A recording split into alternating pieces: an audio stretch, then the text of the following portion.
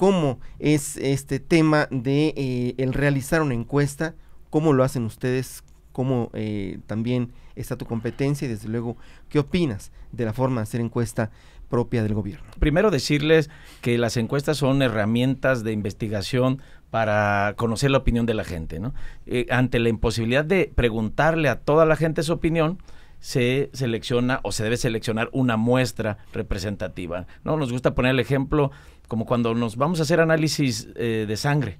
No necesitan sacarnos toda la sangre para analizarla. Con una pequeña muestra se conoce el, el estado de nuestra sangre. Así es la opinión pública. Con que eh, encuestemos, entrevistemos a un segmento, a un sector nada más de la población, con eso es suficiente. Sin embargo, hay de encuestas a encuestas, no todas son representativas.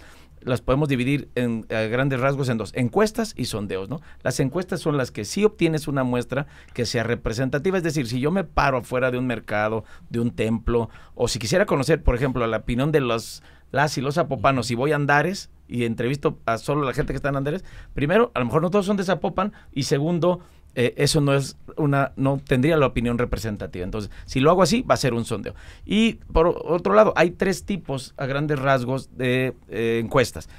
Eh, cara a cara en las viviendas, telefónicas y también en línea digital. Eso hay que verlo muy a detalle porque se difunden, algunas son que se aplicaron en Facebook, y ahí contestaron solo a la gente que acudió a esa página de Facebook o a través de WhatsApp y las que son representativas, confiables, son las cara a cara. Porque incluso ni las telefónicas, Jorge, hay empresas que hacen encuestas telefónicas a teléfono fijo. El INEGI, nos, el INEGI nos dijo en 2020 que solo el 20% de las viviendas en nuestro país tienen teléfono fijo. Entonces, imagínense, si hacemos una encuesta ahí, el universo está reducido. Las más confiables son las que se hacen en vivienda y a cara a cara. Digo, a grandes rasgos como para conocer cuáles son.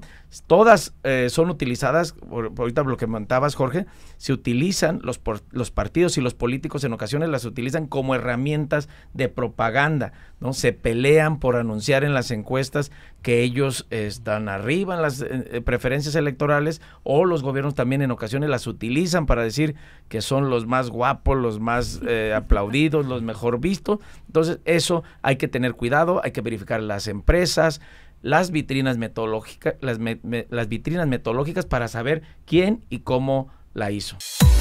Estás en Personalísimo de Tráfico ZMG Podcast con Jorge Beletti.